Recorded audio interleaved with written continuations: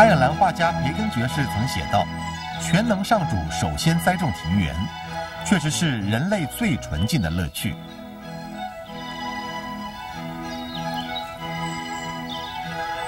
汤马斯·杰弗逊也宣称，土地耕耘者是最可佩的公民，是最有活力、最独立、最正直的人。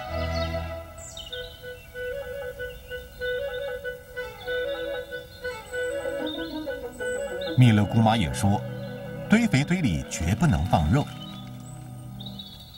各位好，我是雷斯利·尼尔森，欢迎光临寒舍庭园。相信跟各位的庭园无甚差别，清凉安宁，一切井然有序。该闻闻玫瑰香，醒醒脑了。后院其实是杀戮战场，是搜捕猎手的领域，有连环杀手，有空中战斗，有毒液，也有死亡。想要寻找和平与安宁，千万别靠近野蛮的庭院。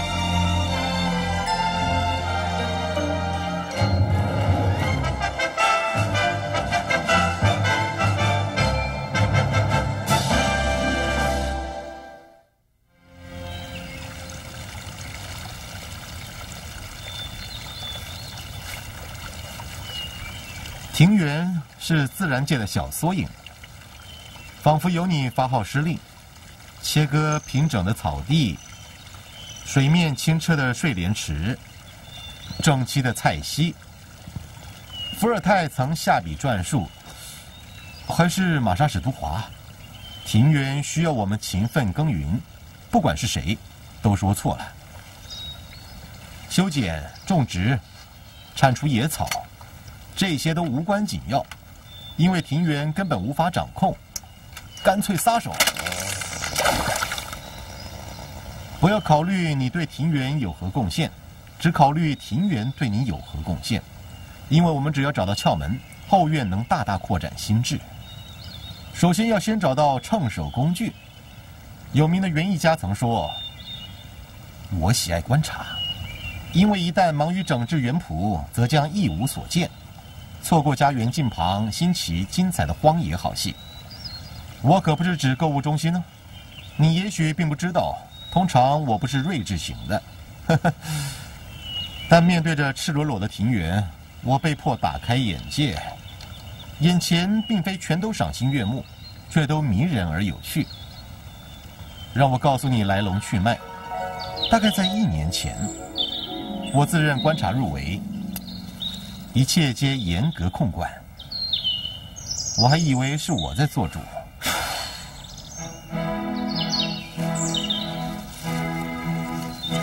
结果菜谱自有生长步调，总是慢半拍，比我的食欲晚一个月。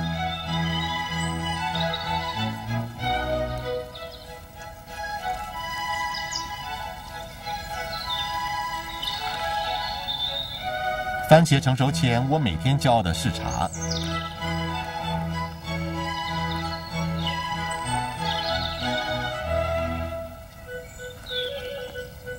自以为是杰出指挥大师。蔬菜是我的管弦乐团，我们合力调理西班牙凉菜汤。我心中从未想到，宝贝番茄里有擅自闯入者四处砍杀，是渠精。这恶极贪吃的小东西，每天要吃与它体重相同的食粮。就它的尺寸而言，它称得上世界最凶猛的猎食动物。一年前我根本无视它的存在，我是心智蒙昧，只顾垂涎品味辛勤培育的番茄。不是我爱夸口，我原以为我很能干。嗯，小心擦拭着。嗯嗯嗯嗯。其实当时这小东西，它大概只有湿茶袋那么重，正忙进忙出。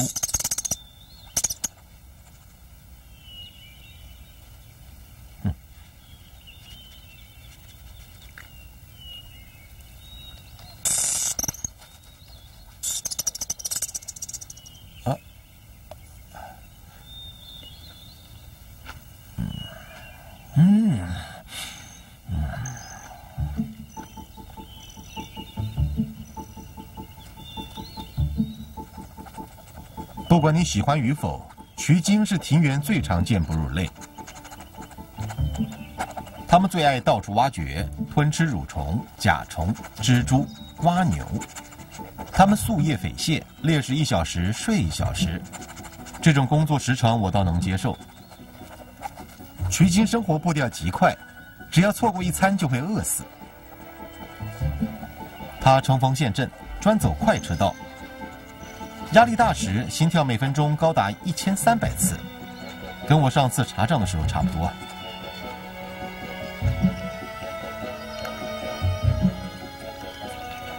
我可以打包票，香水厂商绝不会受取经启发。它肚皮上的腺体发出类似麝香的气味，只有胃纳极强的猎食者才会吃它。树袋蛇就肩负起这艰巨任务。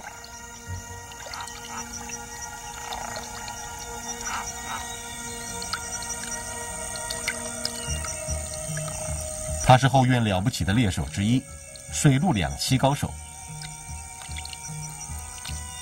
先用舌头探查空中气味，侦测到微弱的渠金气息，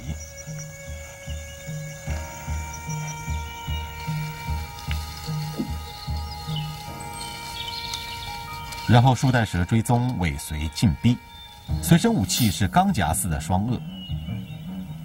战斗将起，但渠鲸也非临终弱兵。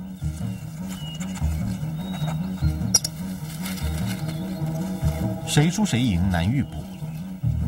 树袋蛇没有毒液，对手可有。短尾渠鲸是北美洲唯一有毒吻的哺乳类，但对密勒古马而言却不是。这次短兵相接，先咬者赢。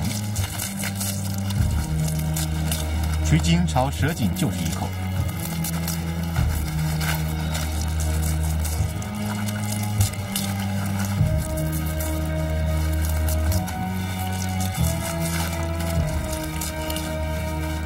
眼镜蛇般的毒液迅速制服树袋蛇，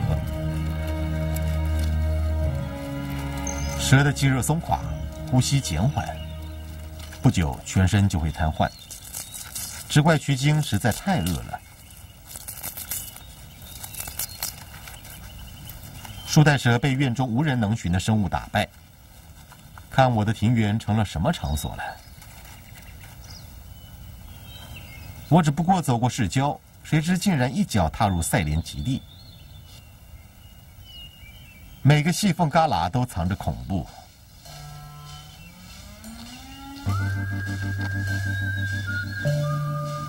这只甲虫在地下蛰伏三年，终于出土。它是象石象鼻虫，体型只有米粒大小的颠覆恶魔。我觉得他一生的目标就是啃噬我的橡树。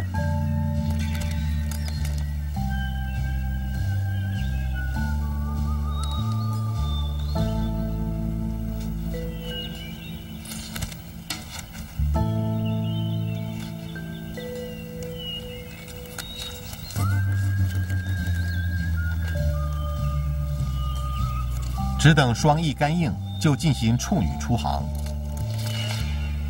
对准我的橡树果实展开攻击。一年前我对这些也茫然无知，我另有重要任务，需防雏菊下垂。现在我可知道，我对小小的花圃根本无能为力。一只渠搜正在我下方产卵，这惹人生厌的昆虫似乎全无魅力。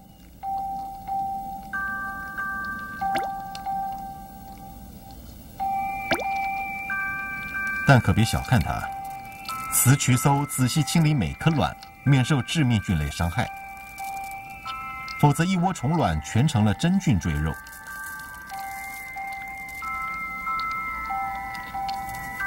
渠搜喜爱栖息在温暖的暗处，至于爱躲在人耳后的习性，希望只是个老掉牙的流言。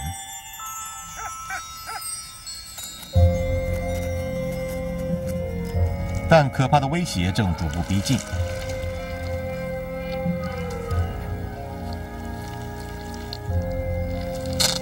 徐搜巢就要盖满粘液。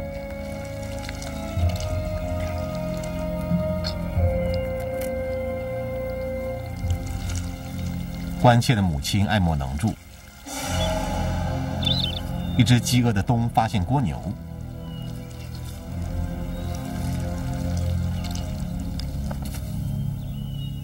下一餐上的是食用瓜牛，细心的剔去瓜牛外壳，再在岩石上击打，使肉柔嫩可口。以下的画面儿童不宜。呃，你要是受不了火热刺激，就趁早滚出庭园。说到热，我来介绍一下火蚁。这些南美入侵者大批集体行动，作业效率极高。二十五万只蚂蚁同属一个大家族，一天只需两餐。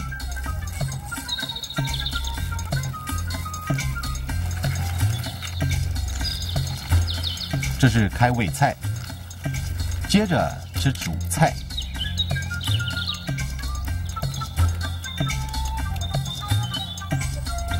蚂蚁发动攻击，蜻蜓失腿，增援部队迅速抵达，蜻蜓垂死挣扎，但大势已去。蜻蜓反复被蛰上腐蚀毒液，受千差万刺而死。我还以为狗仔队已经够狠了。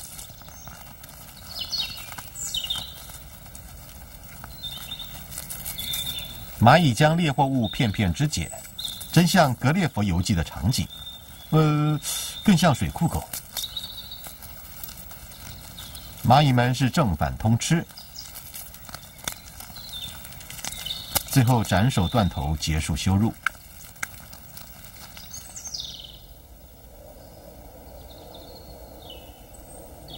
有人说火蚁带来世界末日，对蜻蜓算是一语成谶。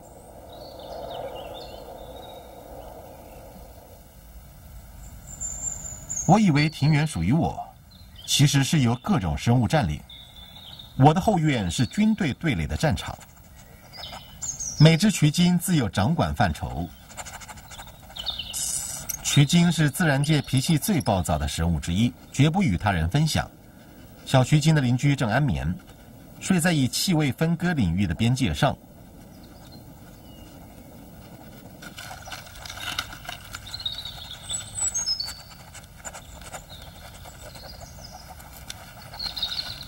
徐金嗅觉虽敏锐，视力却极差。彼此经常相撞，双方都大吃一惊。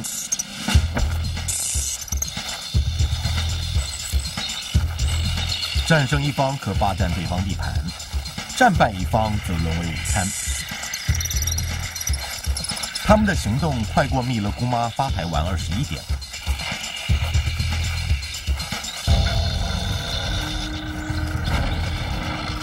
是最轻羽量级的激烈摔跤赛。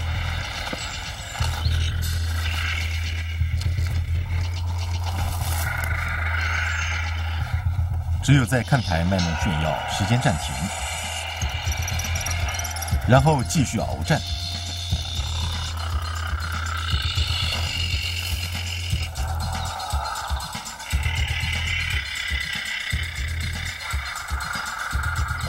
没有人知道渠精是否对自身毒液免疫，但若非免疫，实在不该这般撕咬。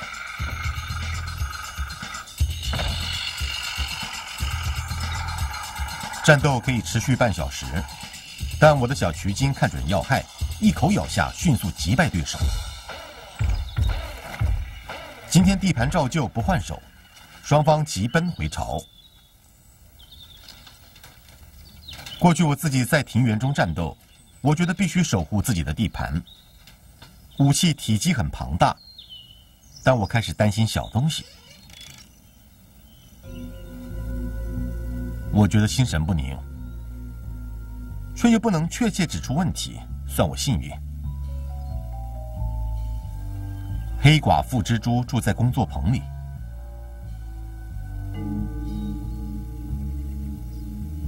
实事求是的雌蛛体型比雄蛛大上三十倍，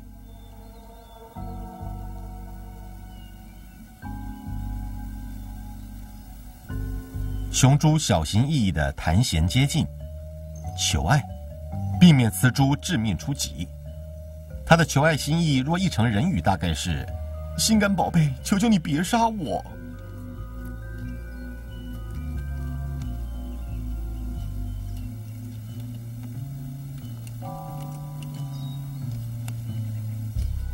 形势看好，他让他用手插入精子，呃，我是说用须知。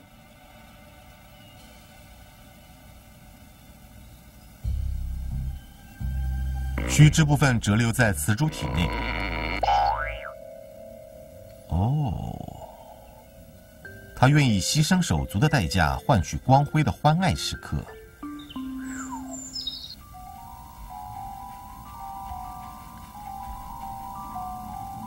现在雌蛛开始产卵。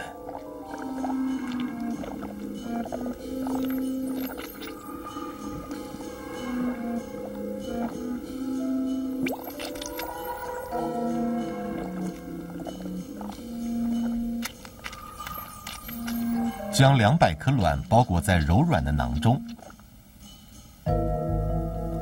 它可不会全压在一囊中，而是一共织出五个卵囊。两星期内就有千只小猪进袭我家后院。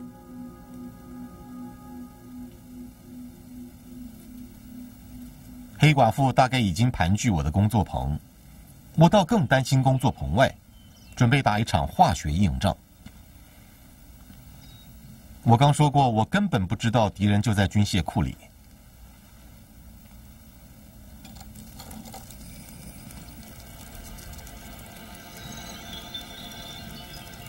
外面情况已经够糟了。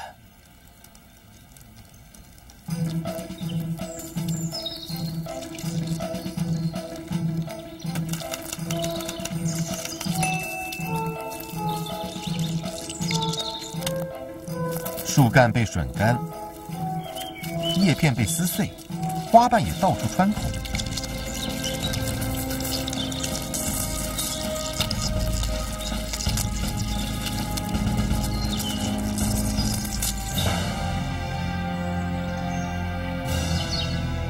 身为男人，怎么忍得下这口气？不能怪我，为爱痛下杀手。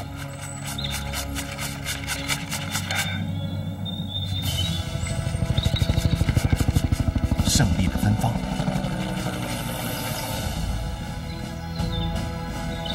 其实我根本没赢，杀虫剂早已过期，有如秀兰邓波尔的花拳绣腿。不过反正我要谋杀的对象螳螂也正嚼得津津有味。照着情势发展下去，要驯服野蛮庭园是毫无胜算。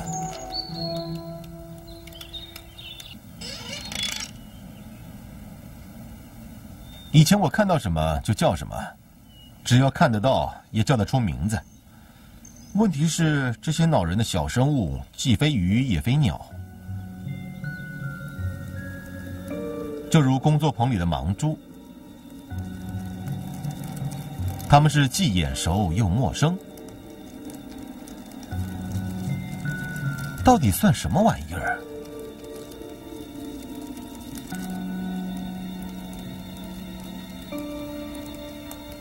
是蜘蛛吗？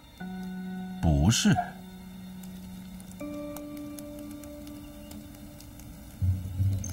是昆虫吗？也不是。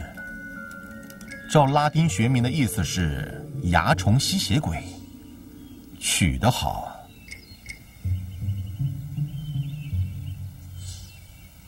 蚜虫是一等一吸吮玫瑰花精好手，每分钟繁殖多个后代，至少在我后院就是如此。蚜虫是行无性生殖，自然界的馊主意之一。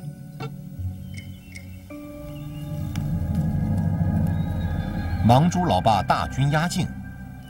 哦，呃，是盲猪老妈，她的腿还真是长啊。每根都细得像条线，部分依水力学原理行动，甚至还用腿听、长嗅，让我想起……呃，算了，别说了。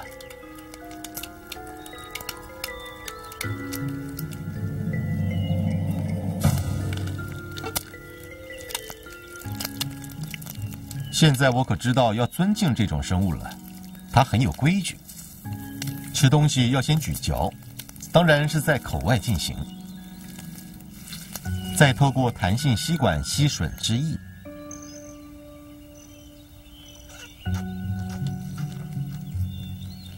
餐后还用牙线清洁，我自己比较喜欢不上蜡薄荷味的牙线。盲猪为何腿长？目的在让丰满的身体高举过猎手之上，这样若还不足以防卫，就用腿发出臭味驱散猎手。不过你听我说，闻到味道就已经太靠近了。臭腿中也有内建的测震仪，要是敌人接近，就弃腿落跑。虎甲就是杀戮机器，牙医矫正师的噩梦。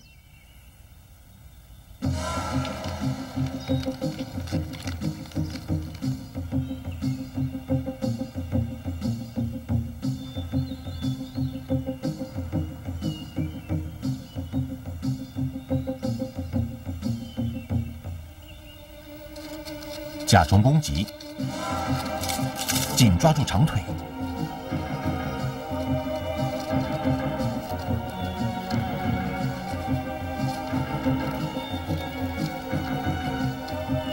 展开一场拔河赛。但猪腿迅速弹落，特殊肌肉凝合残肢。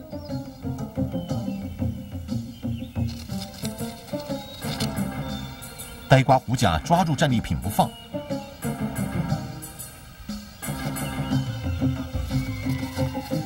盲猪则一瘸一拐的离去，至少捡回一条命，腿还踢着呢。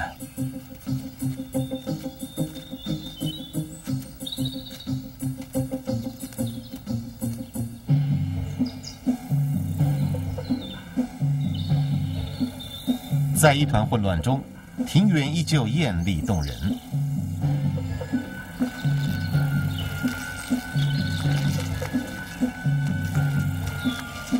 只是爬藤无法指挥训练，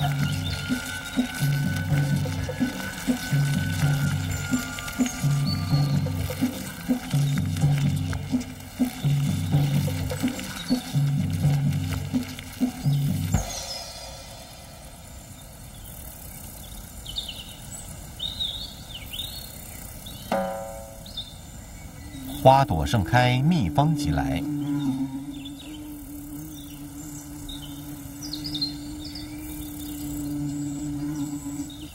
蜜蜂为花朵处理性事，换取滴滴琼浆。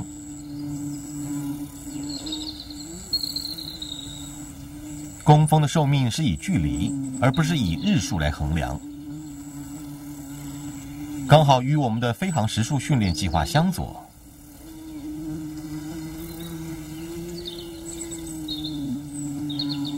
他飞行五百里后就命中。我也算拍过几部风电影，自认对他们颇有一手，到头来还是认清庭园中无一处归我管辖。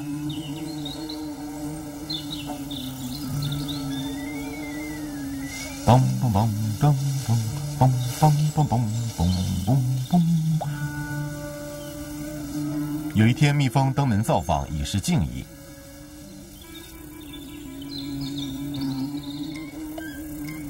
其实，这放肆的小虫是在探测领域。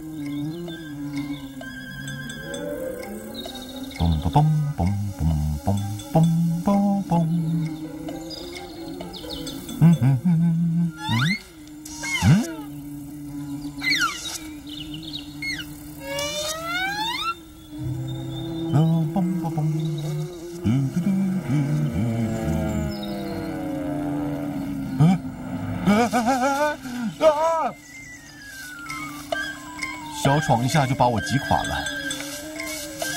如果他都能挑战权威，还会有什么事在我的伊甸园里头发生啊？多的嘞！我只看到冰山的一角，是莴苣。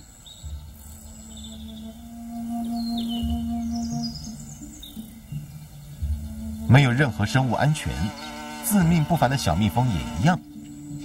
它也被多只眼睛盯上了，准确的说，一共是八只，八只都属跳蛛所有。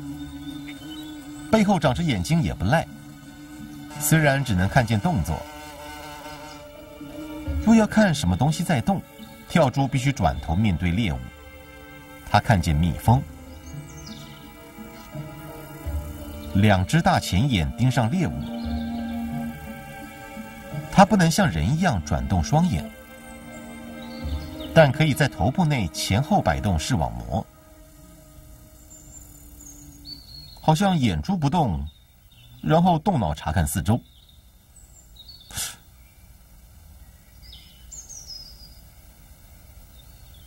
你可别在家里乱试哦。你看，跳蛛查看四周，眼珠就忽明忽暗。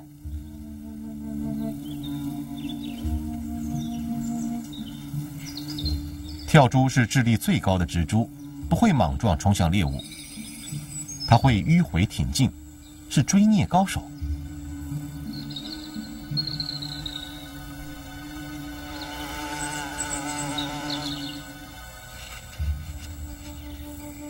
蜜蜂就如砍杀电影的受害者，浑然不觉危险逼近。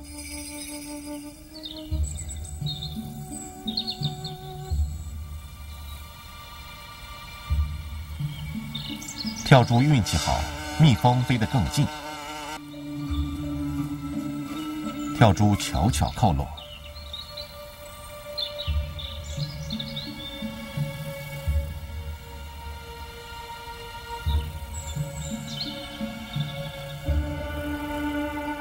进入攻击范围。此时，蜜蜂正用奇妙舌头舔食花蜜。长又多毛的蛇，就像我吃多了鳄梨酱隔天早晨的蛇。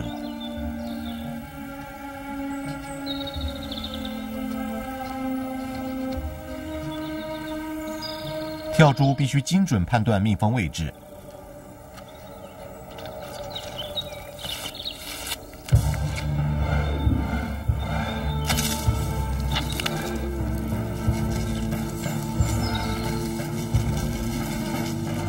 否则一步错，步步错，不仅要被蛰，甚至丧失大餐，丢了小命。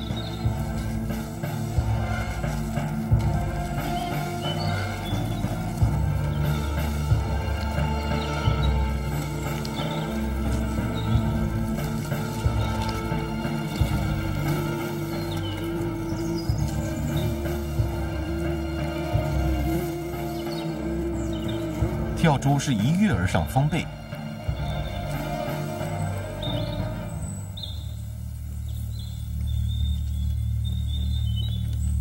可怜的蜜蜂啊，本来还有八十粒寿命可活。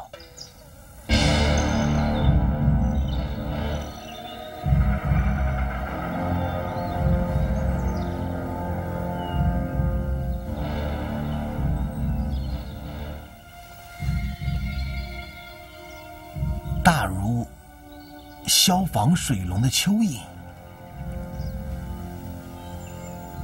白头鹫。从婴儿推车中掘走幼婴，还有粗犷的长毛象，踩胯超生。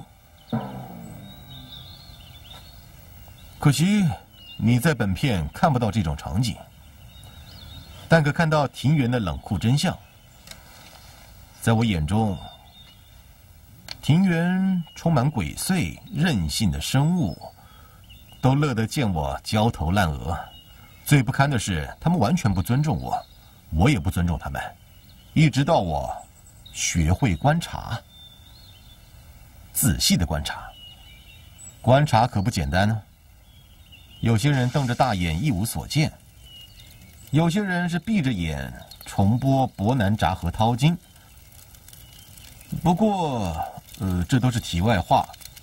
你也可以睁只眼闭只眼，不管是睁这只或是闭那只，呃，这些方法都是徒劳无功啊。嗯，嗯。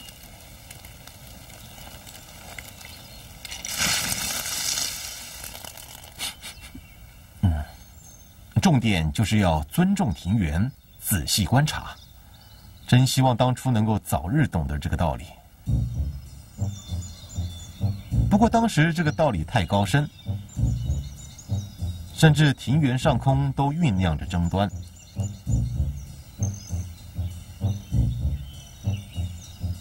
橡实橡皮虫重返，目标当然是对准橡树。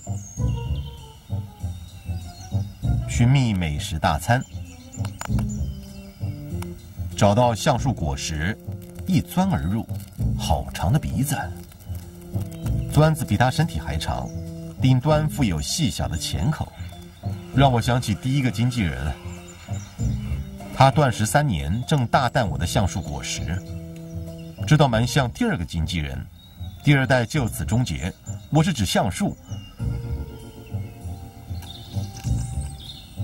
小钳口比印刷据点还小，大概十二点英文字形大小。透过吸管似的长鼻，从橡石中吸入油脂液。这是象鼻虫最丰盛的美食。不过，要是上珍妮克雷格节目，就想都不要想。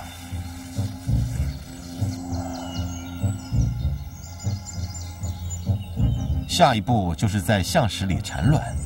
还挑精减肥的选合适橡树，这挑剔的小害虫啊！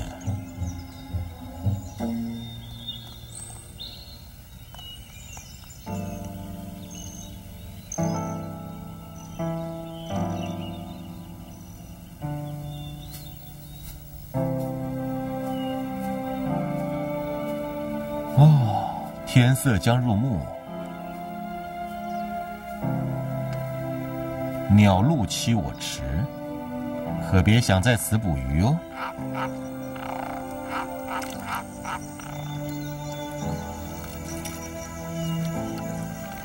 有时黑暗面也能展现温柔，除非是只阔鱼。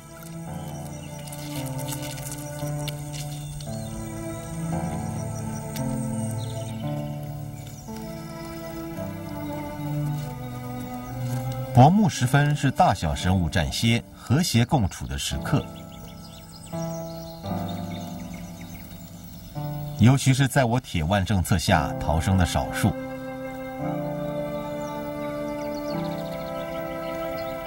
螳螂真是自然杰作。这所谓的益虫是植伏专家，一生三分之二时间静止不动。跟第三个经纪人一模一样，但警觉性极高，瞪着两只大土眼，外带三颗宝石眼。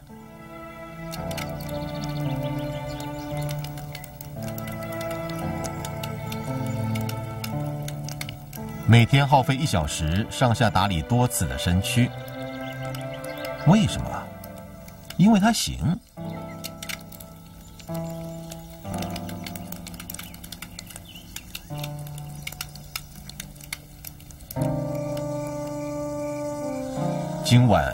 庭园要让我大失所望。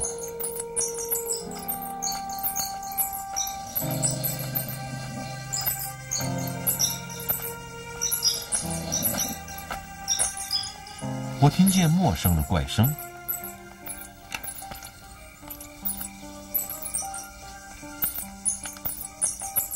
是饥饿的蝙蝠让我心神崩溃。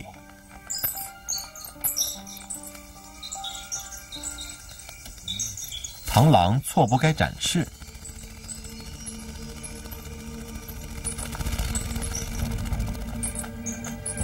蝙蝠是利用声呐捕猎，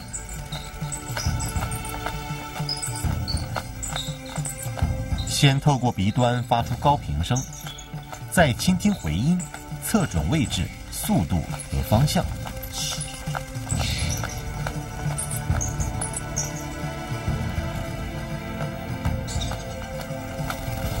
我后院上演着捍卫战士，汤姆克鲁斯在哪里？需要他时偏找不到。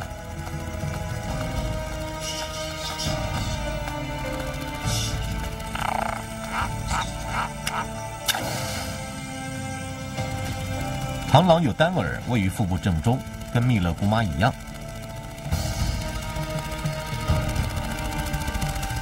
正好调成蝙蝠的波频。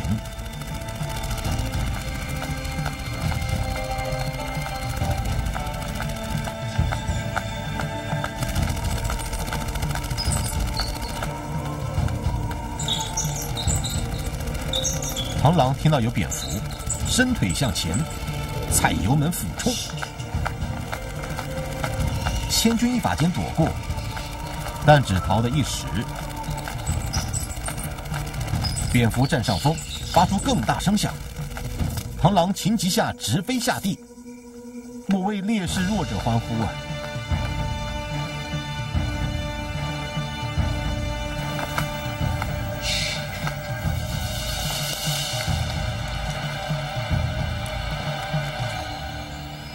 螳螂再度脱身，好哎！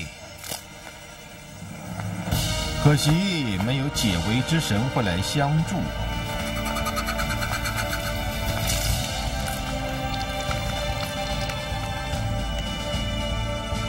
到处充斥着死亡与毁灭。我本来是着手建设天堂，却坐在末日善恶大决战的前排座位上观赏。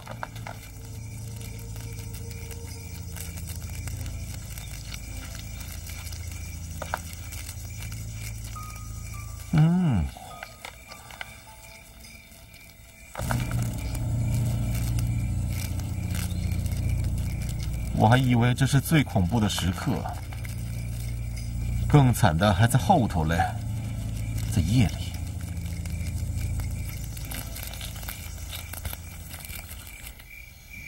夕阳西沉后，园中出现最可憎的生物，只需循着芳草香就能够找到它们。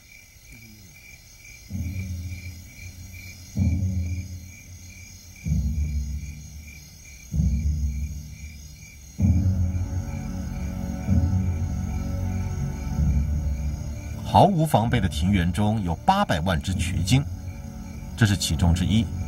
我的小渠鲸，不需怀疑是有人蓄意谋杀。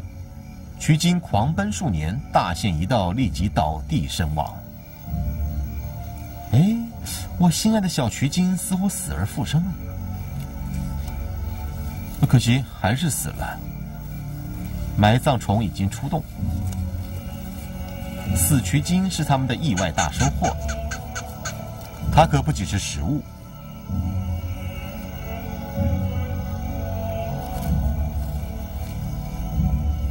不过，饥饿竞争者倒比比皆是，有其他甲虫、蛆和浣熊，野蛮的庭园里可不讲先来后到的规矩。埋葬虫为了保住战利品，举行类似葬礼的仪式。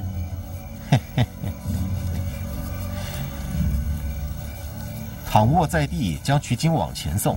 拜托，有氧舞蹈社千万别流行这动作了。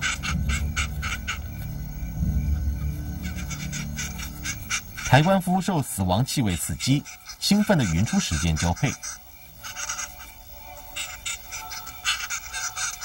他们难道就不能找个蟑螂汽车旅馆吗？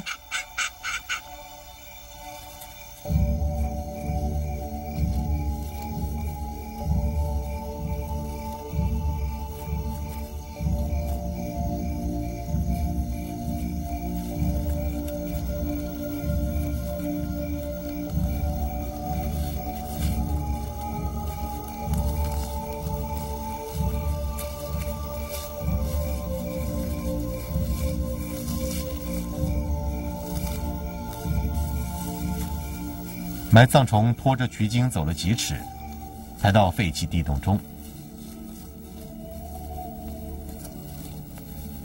及时躲过今晚特别活跃的蛆，他们正将死鼠化成小地毯。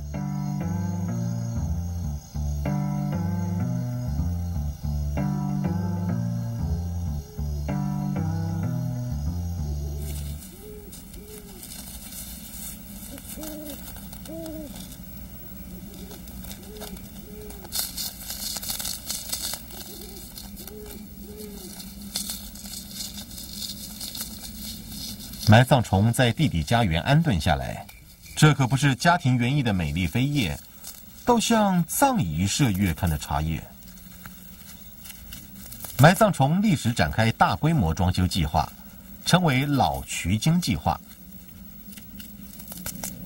将鼠尸做成育婴室，实用的育婴室，就像高级葬仪社的服务，鼠尸要先剃毛。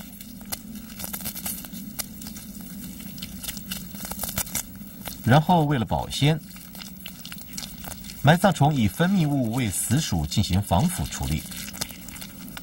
我的小渠精，愿它安息，终于被料理妥当。雌虫即将在它遗体附近产卵。地洞上方，浣熊逡巡徘徊庭园中。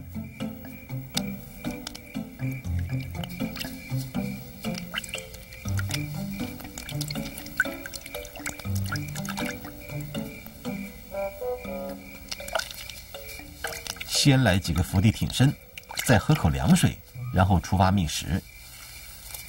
比方青草确实更丰盛。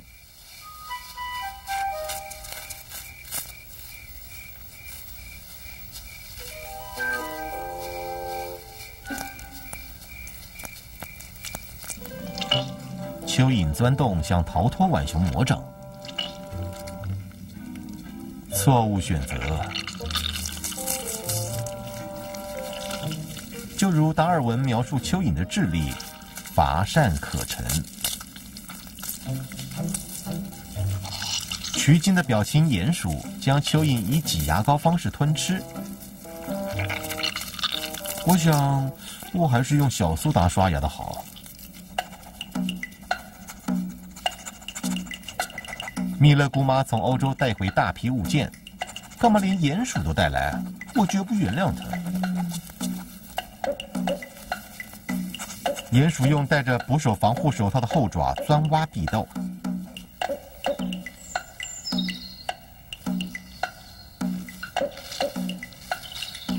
碰上障碍可挡不住它。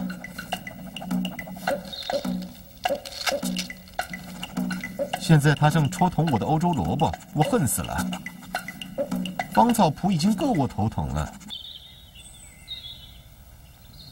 我心目中的后院梦境正土崩瓦解，和我的小渠精相去无几。我努力想忘却残酷的葬礼，谁知一周后却意外造访他的坟地，真是一场巨变。小宝宝，沉尸所变成托婴中心，埋葬虫已孵化，在鼠尸上翻脚攀爬，幼甲虫像挤成一团的小鸡。甚至还会乞讨食物。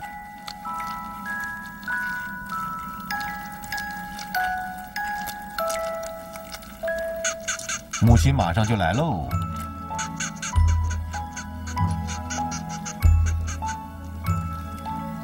他先吞吃残余的鼠尸，真像蜜乐姑妈做的肉馅儿土豆泥饼。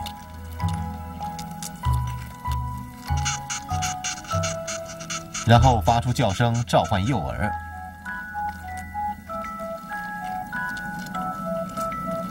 接着反刍补喂幼饵，供应鲜美多汁的渠精粥。我还以为我的童年够苦了，昆虫类里再也找不到像埋葬虫这么尽责的父母了。不过这句话没什么意义，要是鼠食太小，养不了整窝，母虫乐于吞吃幼虫。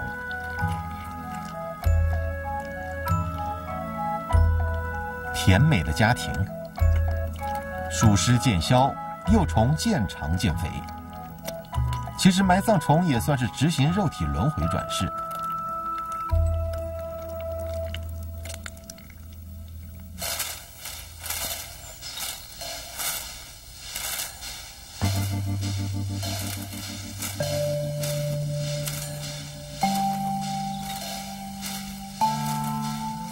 高高的橡树上，橡石腐化了。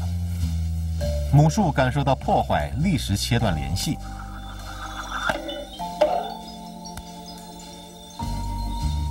现在我猜想会发生怪异及奇妙的事。好了，是怪异的事。橡石内老象鼻虫的幼儿已经长大，正有理往外吃出家园，总算解脱了。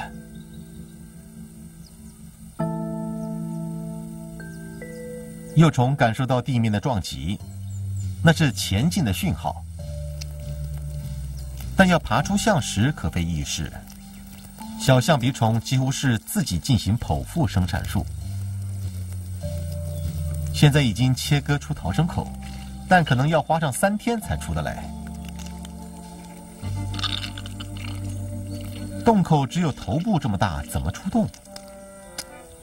幸亏它是架活手风琴。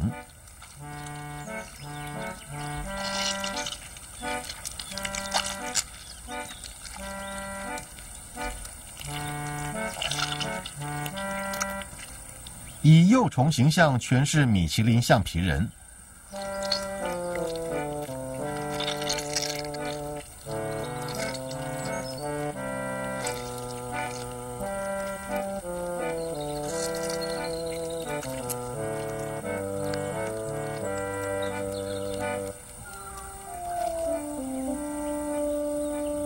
幼橡皮虫现在必须躲藏，附近已有饥饿的渠精现身。幼虫开始掘入地下，以便进行蜕变，多年后才能重出江湖，继续似乎无意义的生命周期。不过话说回来，我们又是如何度过光阴？徐金决心要找出幼虫，我是说一只幼虫。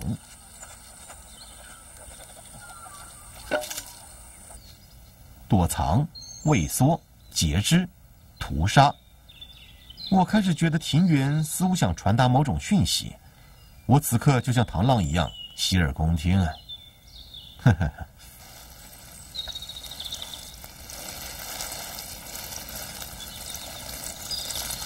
我心神不稳，大惑不解，即将面对最致命而无法阻挡的力量。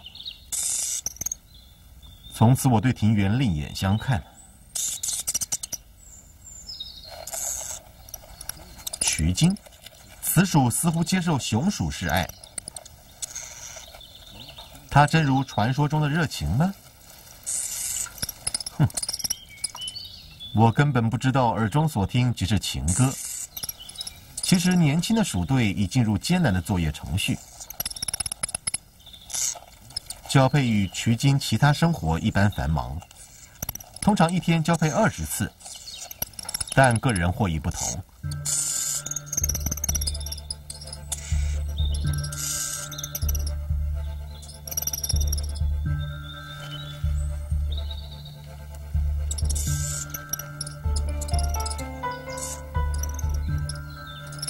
是大开眼界，他们看来那么柔弱。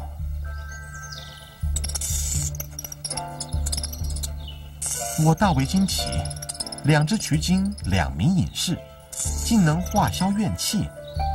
我恍然大悟，我一直沉迷于自然的黑暗恶势力，充满残暴与死亡。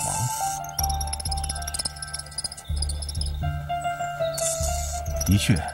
爱对雄鼠而言可能是累赘，但如今我看到庭园的另一面，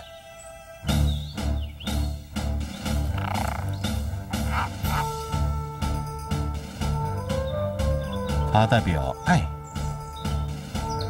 生命与重生。说穿了，大半就是交配。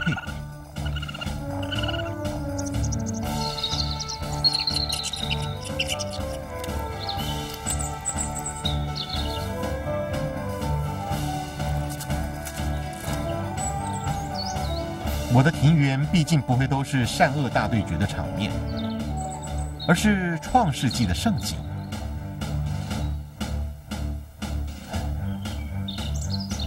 啊，奇观，奇观，奇观呐！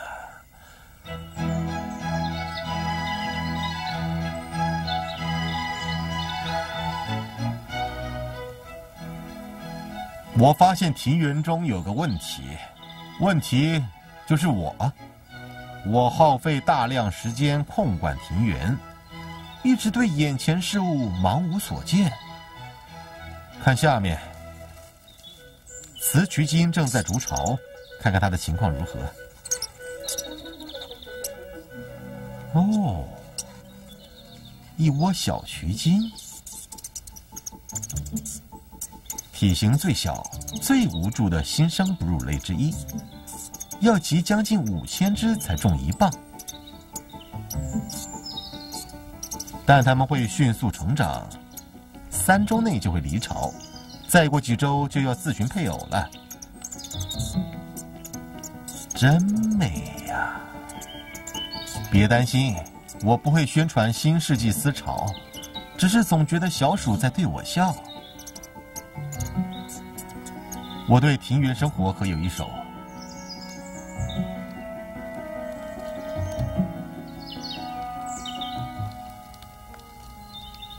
我对庭园的建议是：放弃任何控管的念头，全心欢喜接受，打开眼界，享受美气味。呃，当然了，嗯嗯，你得与其他生物分享庭园。哎。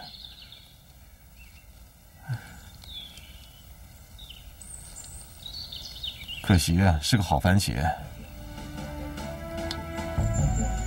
嗯哼哼哼，嘟嘟嘟嘟嘟。嗯哼哼哼，嗯哼哼哼哼，嗯哎，别动那些树啊！嘿嘿，哈哈哈哈。